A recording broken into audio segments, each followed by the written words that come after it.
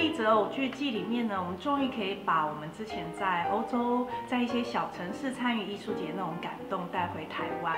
好，那它和一般官方办这种大型艺术节非常不同。那它其实是你可以看到各式各样演出，然后参与，看到艺术家创作的过程，跟他面对面可以聊天，然后还有一些首创的一些延伸活动。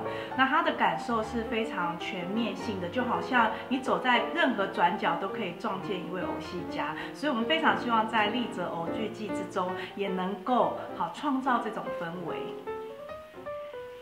这次丽泽偶剧季会带来什么样的节目呢？首先要介绍的是来自匈牙利的迷你妙妙偶。那大家可以一起回想，我们有时候看到一些袖珍的小模型，会有小人物在里面，那我们就好像缩小到那个迷你世界去探索。好，那我们在看迷你妙妙偶的时候，也会感受到，虽然那个偶很小，但是它非常的精巧，它很灵巧的在你面前活灵活现的跳舞。那这时候你会感受到操偶师真的是对人物。的观察非常的细腻。来自以色列的小裁缝的奇幻旅程是火车剧团很著名的一个作品。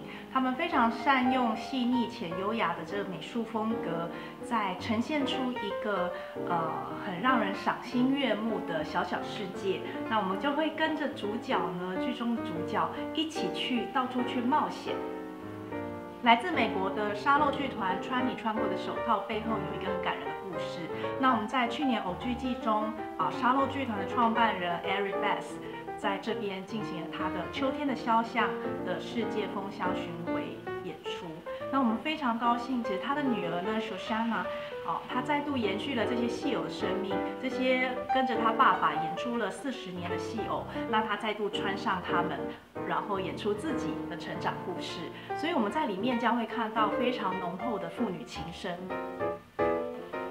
三档节目呢，都是世界各地的艺术节非常受到好评的作品，很兴奋，他们即将要来到台湾喽，大家一定要来，赶快感受转角遇到偶的美好时刻。